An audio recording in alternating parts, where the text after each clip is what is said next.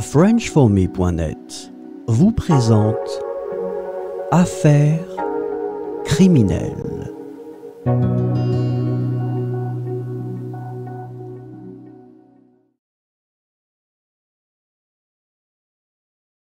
Jamel Lelmi, surnommé le Barbe Bleue de l'Essonne, a été impliqué dans une série de meurtres de femmes en 2007, déclenchant une chasse à l'homme intense.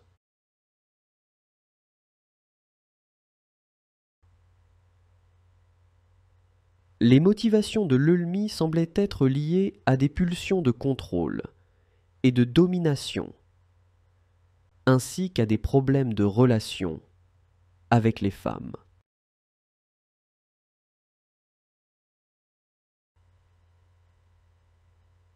Dès la découverte des premiers corps, la police a lancé une enquête approfondie pour identifier le tueur en série, mobilisant des ressources considérables.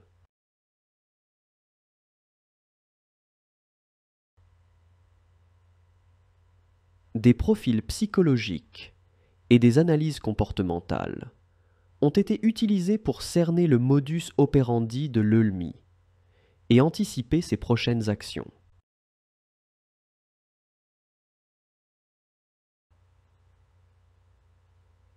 Des témoins ont rapporté des interactions suspectes avec l'EULMI, alimentant les soupçons des enquêteurs et aidant à établir un profil du tueur.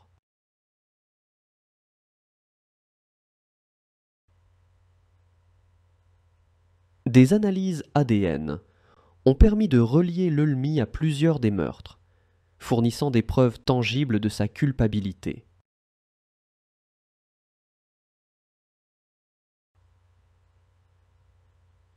Lors de son arrestation, l'Eulmi a tenté de nier toute implication dans les meurtres, mais les preuves accumulées étaient accablantes.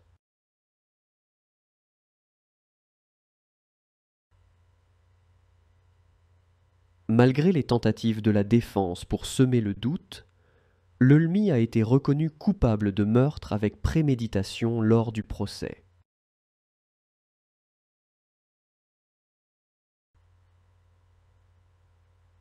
La sentence prononcée par le tribunal a condamné Leulmi à la réclusion à perpétuité, sans possibilité de libération anticipée, en raison de la gravité de ses crimes.